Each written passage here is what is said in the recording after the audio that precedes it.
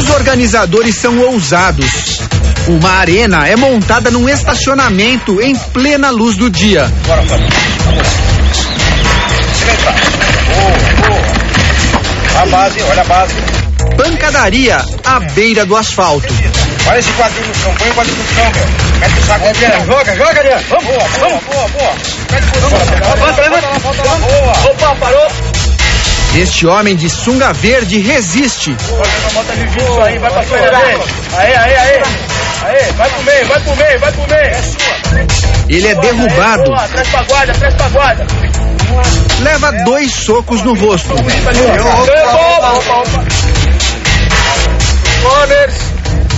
E abandona a competição.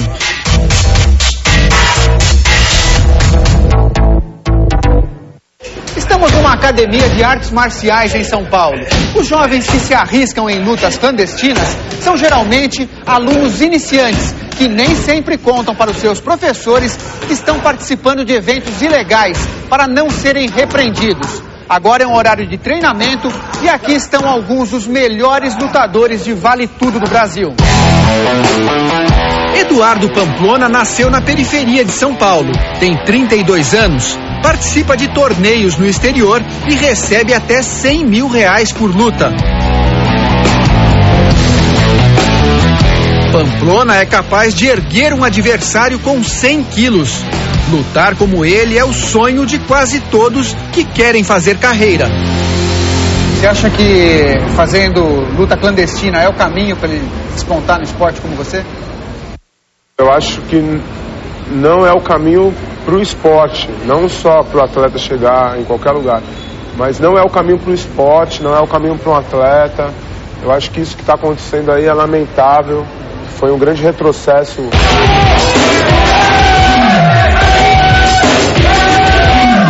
Como uma rinha de galo, como uma rinha de cachorro. Quem está envolvido com isso, pô, é vergonhoso. A polícia vai investigar o que está por trás das lutas ilegais, denunciadas com exclusividade pelo jornalismo da Record. Quem participa de um evento como esse, ele pode responder por lesão corporal, ele pode responder por periclitação de vida, ele pode responder por uh, corrupção de menores, que a gente vê menor, e, dependendo do propósito do evento, até por formação de quadrilha. Existe ainda outra suspeita: a possibilidade de haver apostas em dinheiro durante as lutas, o que seria crime de contravenção. A polícia já sabe que o empresário que organiza os eventos mantém um site nos Estados Unidos. O conteúdo é vendido por assinaturas que custam 20 dólares, cerca de 40 reais. Nos vídeos gravados no Brasil, os competidores brigam dentro de uma jaula, como se fossem animais. A chamada diz que eles lutam para se tornar heróis. É este tipo de imagem que os exploradores mais gostam. O adversário já desistiu. Mas o lutador descontrolado quer brigar a todo custo. Ele fica enfurecido e precisa ser segurado pelos organizadores.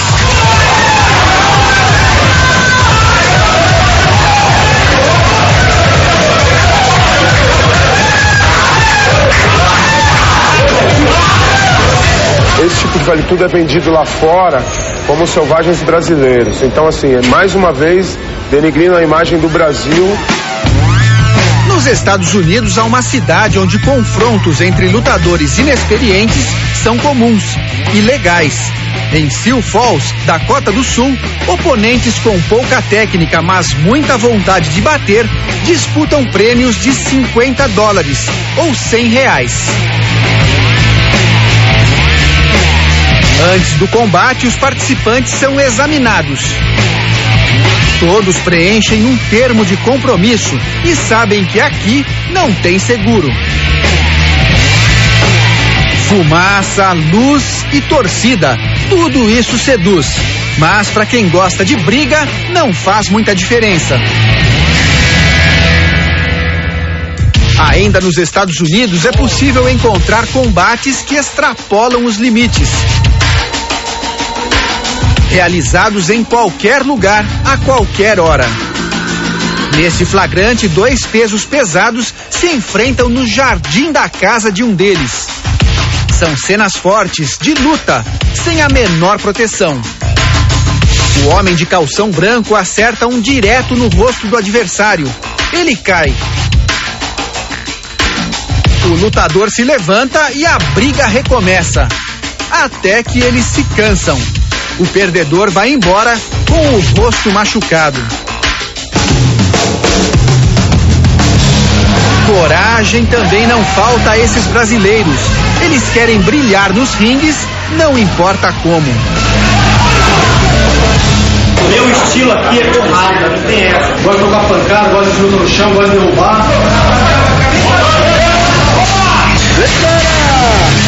Que que é isso? Que selvageria é essa? Que loucura é essa? Robson Grace trouxe o jiu-jitsu para o Brasil. Já treinou centenas de lutadores. Criou um nome de peso nos ringues, a família Grace. E se sente indignado com a brutalidade das lutas clandestinas. Vim aqui pra deixar a cara de qualquer um que nem a cara do tanque tem. Tô com o tanque cheio. Cana, delegacia mais próxima. Vamos levar esse- essas feras todas pra jaula.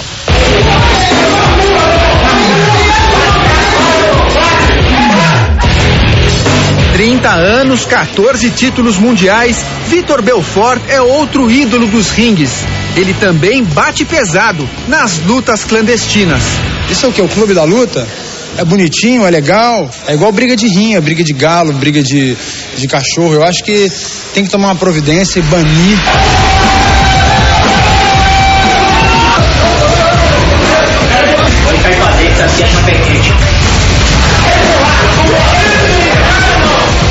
Belfort batalha para mudar a imagem do esporte, sempre associada à violência. A gente pode levantar uma bandeira, a gente pode justamente levantar uma bandeira que a gente defendeu ela durante muito esforço. Né, que o atleta, o lutador, ele, ele tem uma vida dedicada, uma vida com respeito, dignidade, né, com, principalmente com, com integridade.